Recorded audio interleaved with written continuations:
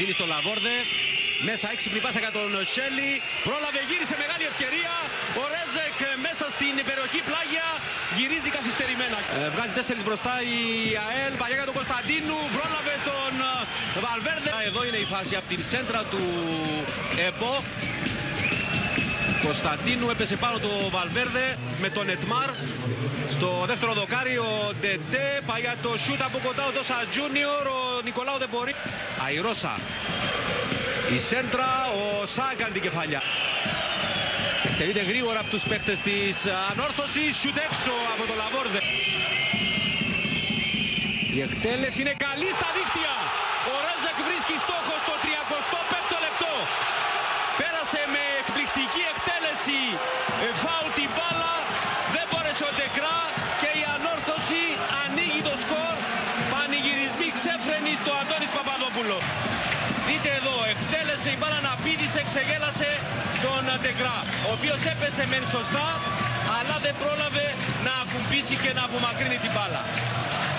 Πράγματι ένα πολύ όμορφο γκολ, καλή εκτέλεση. Ε, Έμπο μέσα στην περιοχή, κάνει προσποιήσεις, ο Έμπο το σούτ, η μπάλα, ε, κόρνερ. Εντυπωσιακή ενέργεια από το Βραζιλιάνο, ε, έδωσε στον Ετμάρ στο καλό του πόδι, έξω η μπάλα. Ξεκίνησε εντυπωσιακά εδώ, ο Μπεμπέ γύρισε, ε, στο πάρε την μπάλα ο Ετμάρ, αλλά αστόχησε. Στον Ετμάρ βγαίνει ο Μάστρου, πέρασε ο Ετμάρ.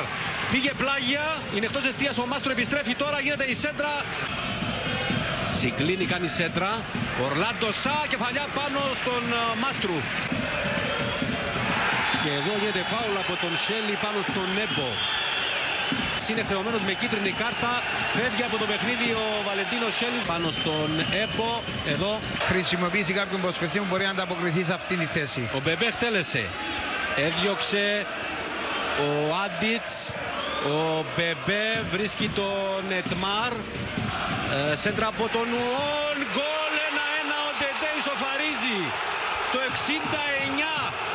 Ο Ντεντέ κάνει το 1. Έμεινε πίσω στο δεύτερο δοκάρι εντελώς μόνος. Και με κοντινή κεφαλιά κάνει το 1-1.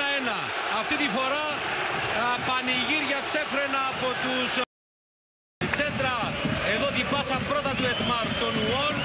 Ε, με τη μία έκανε τη σέντρα η κεφαλιά από